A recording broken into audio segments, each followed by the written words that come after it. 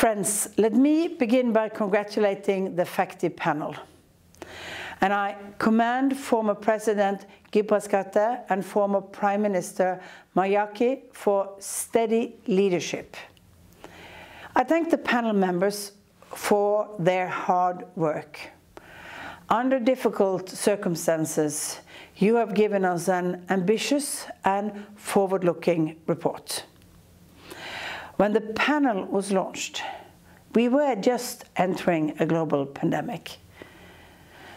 A year on, COVID-19 has deepened inequalities.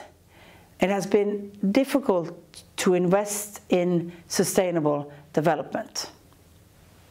Illicit financial flows have reinforced social and economic challenges. It is often said that with crisis comes opportunity, and this is such a moment. We should use it to make the reforms needed to reach the Sustainable Development Goals. This will take courage and willingness to act. The panel has engaged extensively with member states and stakeholders, and the dialogue needs to continue.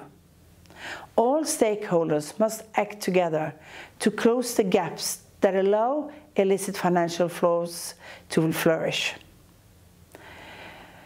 The FACTI panel addresses complex and technical issues, but the objective is clear and simple stopping the leak of trillions of dollars and challenging more of these resources towards sustainable development.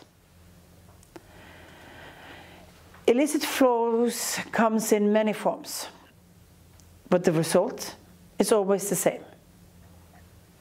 It undermines governance, erodes trust and increases poverty.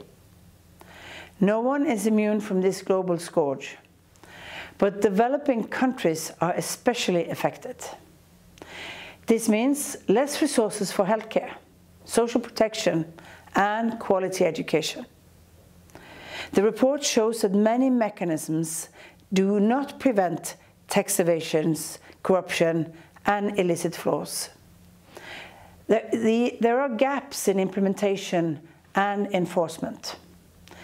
We need stronger standards around accountability, transparency and integrity. Corruption and financial crime should not go unpunished. Effective implementation of the UN Convention Against Corruption is a key. We should also build on valuable work done at the OECD, the G20 and the IMF. I welcome recent steps to facilitate more country-by-country -country tax reporting. I am encouraged that more countries are improving transparency on beneficial ownerships. However, many countries are still not participating in the standard-setting bodies.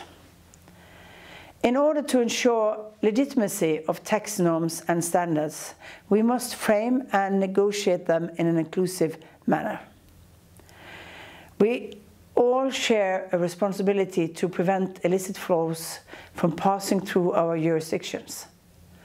A stronger global consensus on tax cooperation is an important step. If we invest in more robust international tax systems, we will receive a healthy and more needed return. Let us heed the call of the FACTI panel.